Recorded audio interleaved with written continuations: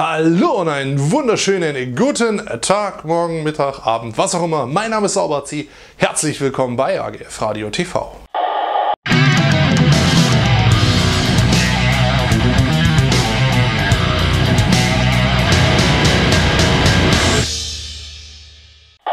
Ja, wie immer zuerst der Wetterbericht. Es ist eisekalt und irgendwie irgendwer hat vergessen in seinem Auto Frostschutzmittel in das Scheibenwischwasser zu tun und jetzt habe ich einen wunderschönen zitrusfrischen Eisblock im Auto. Das tut zwar eigentlich gar nichts zur Sache, aber vielleicht interessiert es ja den einen oder anderen. Macht das nicht, weil ansonsten habt ihr Probleme mit der Scheibenreinigung. Na gut, okay, jetzt habe ich mich völlig entblößt als Winterdepp. Ähm, es war jede Menge los diese Woche und das schauen wir uns jetzt an. Wir fangen an mit Freiwild. Die haben einen Broncos-Song geschrieben, also nicht die Denver Broncos, wie der ein oder andere vielleicht denken mag, sondern die Broncos Eishockey-Team aus Sterzing. Die haben einen exklusiven äh, Freiwild-Check bekommen. Den gibt es nirgends zu kaufen, außer im Rookies and King Store in Brixen. Also wer den unbedingt haben will, der sollte dort schnellstens hinfahren. Es wird nichts reserviert und nichts verschickt. So haben sie es auf ihrer Facebook-Seite geschrieben. Also, falls Interesse besteht, hinfahren und das Ding holen. Mal wieder ein kleiner Veranstaltungshinweis. Es gibt mal wieder ein Charity-Konzert bzw. ein Rockkonzert, um zu helfen. Lautstark gegen Krebs heißt das Motto dieses Konzertes, findet am 13. und 14. Oktober statt und unter anderem sind mit dabei Hämatom, Unantastbar, Letzte Instanz und noch einige andere mehr. Tickets sind schon erhältlich und es gibt sogar auch so komplette All-in-One-Pakete mit Hotel und Frühstück und allem drum und dran. Ich habe euch die Facebook-Seite dazu mal unten verlinkt, dass ihr da mal nachgucken könnt. Unherz verschieben ihren Album-Release. Ursprünglich war angedacht der 3.2., jetzt wird es der 17.2., also zwei Wochen später. Und warum? Einfach weil die Nachfrage so riesengroß ist. Irgendwie die Boxen sind kurz vorm Ausverkauf, damit hätten sie selber nicht gerechnet. Sie wollen aber, dass alle Boxen gleichzeitig rausgehen und deswegen wird der Release nochmal um zwei Wochen nach hinten verschoben und äh, dann bekommt auch jeder seine CD und seine Box pünktlich zum Release-Tag. Hangar X, die waren ja letztes Jahr mit Seitenfeuer und Venterra schon auf Tour. Jetzt geht's nochmal alleine los. Und zwar auf eine kleine Clubtour zusammen mit ihrem Support Synflut, den Flyer. Seht ihr hier neben mir durchs Bild huschen und alle Informationen selbstverständlich wie immer unten. Hier auch noch ein kleiner Veranstaltungshinweis. Das Pogo Festival findet in rund eineinhalb Wochen statt. Sichert euch noch die letzten Tickets. Alle Infos dazu unten in der Infobox. Und auch Ohrentod stehen relativ kurz vor dem Album-Release. Zuckerbrot und Peitschenhiebe, diesmal habe ich es richtig ausgesprochen, steht kurz vor der Veröffentlichung und dazu gibt es noch ein paar Informationen und zwar Erstens ist es jetzt vorbestellbar. Zweitens sind auch schon die Tickets vorbestellbar für die CD-Release-Party. Drittens äh, wird es ein Special dazu geben mit meiner Wenigkeit und der halben Band, drei Fünftel. Die kommen zu mir nach München und wir verbringen hier einen wunderschönen Abend mit euch und natürlich auch dem neuen Album. Außerdem hat sich bei den Tourterminen nochmal ein bisschen was verändert. Läuft neben mir durchs Bild und ist unten verlinkt, dass ihr nochmal nachschauen könnt, ob alles beim Alten geblieben ist. Ferdi Dörnberg sollte ja eigentlich jedem ein Begriff sein, der wuselt ja eigentlich überall so rum. Bei Gerbolz war er schon mit dabei, bei Rotz und Wasser steht er regelmäßig mit auf der Bühne und noch ganz viele andere Sachen hat er gemacht. Ist ja auch Mitglied der Band Axel Rudy Pell und jetzt gibt es von ihm eine Kinder-CD.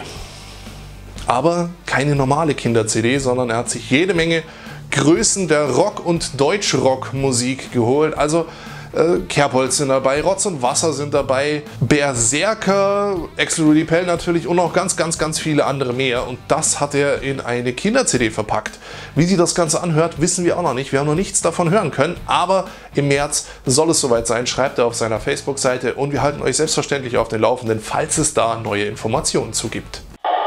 Ja, das Thema der Woche, der Hockenheimring, beziehungsweise das Onkels Festival auf dem Hockenheimring, beziehungsweise es hat ja jetzt einen Namen. Mata Palos soll es heißen oder wird es auch heißen. Dazu gibt es nämlich schon ein entsprechendes Plakat. Es wird, wie wir alle schon mitbekommen haben, auf dem Hockenheimring stattfinden, 16. 17. Juni. Die Onkels werden Headliner sein an beiden Tagen. Ähm, sie haben sich aber Verstärkung geholt. Mit dabei sind unter anderem Slayer, Papa Roach, Suicidal Tendencies, Ignite und noch einige andere mehr. Aber letzte Band hat ihren Auftritt leider schon wieder abgesagt.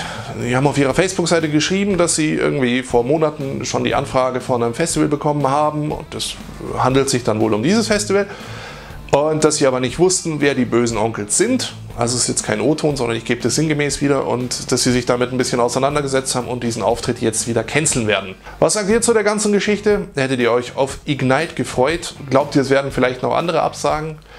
Was erhofft ihr euch von dem Festival? Schreibt es mir unten in die Kommentare. Würde mich und euch wahrscheinlich auch brennend interessieren, wie da andere so drüber denken. Da liest man ja schon wirklich die unterschiedlichsten Meinungen bei Facebook und wir sind gespannt, wie die Geschichte weitergeht, ob alle Bands auch tatsächlich dort spielen, die bis jetzt bestätigt sind und vor allem, wer da noch bestätigt wird. Wir halten euch auf dem Laufenden. Kommen wir zum letzten Thema. Die Egoisten oder Egoisten, so könnte man es auch sagen, suchen einen neuen Bassisten. Ja, und den suchen sie ziemlich schnell. So steht es auf ihrer Facebook-Seite. Den entsprechenden Flyer dazu seht ihr hier und ist unten verlinkt, damit sich der oder die Bassistin entsprechend bewerben kann. Ja, in Sachen Festival hat sich ein bisschen was getan. Auf dem Alpenflair wurde eine neue Band heute bestätigt, die kann ich euch nicht nennen, aber einblenden, da ich die News natürlich vor Montag 18 Uhr aufnehme, aber durch etwas Videomagie kann ich es natürlich noch einfügen. Ja, es ist nicht wirklich Magie, aber ist ja auch wurscht. Auf jeden Fall seht ihr es hier gerade neben mir eingeblendet. Und das Rocksberg findet auch dieses Jahr wieder statt auf dem Boxberg im Harz. Äh, enorm, sind zwar glaube ich nicht offiziell bestätigt, aber werden auf jeden Fall dabei sein, weil das Ganze ist ja so ein ESC-Enorm-Ding. Und die Thekenproleten, die auch schon treue Begleiter auf der 10-Jahre-Tour waren, werden auch mit am Start sein. Ähm, Tickets sind limitiert auf 200 Stück, also schnell sein. Äh, Termine gibt es am Wochenende gar nicht so viele, zumindest die, die ich so mitbekommen habe. Falls euch welche fehlen, benutzt gerne die Termine eintragen Funktion auf unserer Homepage oder ladet einfach mein Privatprofil zu sämtlichen Veranstaltungen, die auch nur annähernd was mit Deutschrock zu tun haben, ein und dann kommen die auch hier. Am 28.01. ist das DRR Kickoff 2017 von Delirium. Hm, ist schon ausverkauft, aber trotzdem der Vollständigkeit halber darf das ruhig hier mit drin sein. Außerdem laden Bremsspur auch zum Konzert in Kissing und damit wären wir auch schon am Ende. Ich bedanke mich recht herzlich fürs Zusehen. Ich hoffe, es hat euch Spaß gemacht. Ihr fühlt euch ausreichend informiert. Falls ja, dürft ihr uns das gerne mit einem Daumen nach oben zeigen. Falls nein, dann halt auch einen Daumen nach unten, je nachdem, wie ihr das so möchtet. Ich wünsche euch jetzt noch eine wunderschöne eiskalte Woche. Zum Wochenende hin soll es endlich wieder schöner werden kann ich wieder Drohne fliegen. Ja, äh, gibt dann auch wieder neue Aufnahmen. Ihr könnt ja mal auf meinem Sauberzi-Profil unten verlinkt äh, gerne mal Gefällt mir drücken, dann kriegt ihr alles mit, was ich so in Sachen Video mache. Was auch nicht immer nur was mit Deutschrock zu tun hat. Aber natürlich irgendwie so hauptsächlich, ist ja ganz klar.